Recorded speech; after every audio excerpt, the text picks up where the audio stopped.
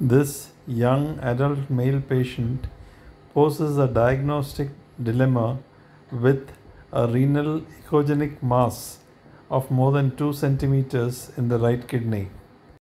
Despite the liver being normal, the patient has a high SGOT level. Is this an angiomyolipoma or is it something more ominous like a renal cell carcinoma? An angiomyolipoma would be little less than 1.5 or even 1 centimeter in size. This measures 2 centimeters in size and hence an angiomyolipoma is less likely. CT scan further confirms that this is not an angiomyolipoma.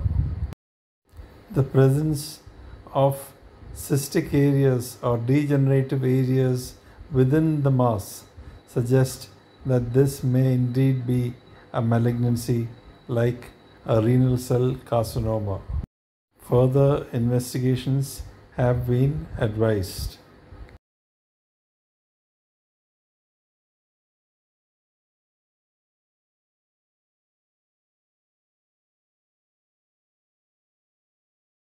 Transverse section of the right kidney also shows a small renal cyst besides this echogenic mass.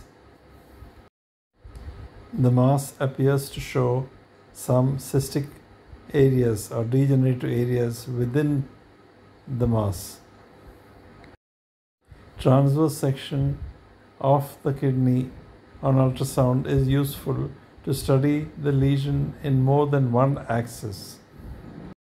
The cystic areas within the mass is also further proof that this mass is less likely to be an angiomyolipoma.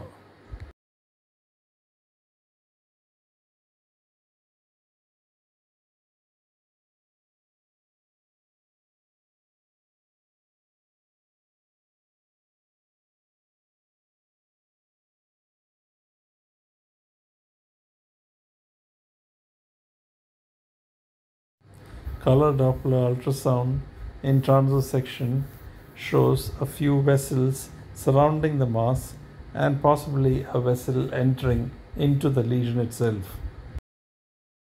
Color Doppler ultrasound was done in both transverse as well as in the longitudinal axis.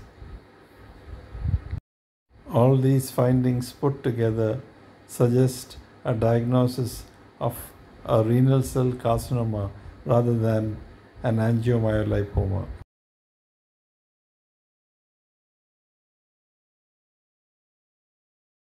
The liver appears grossly normal.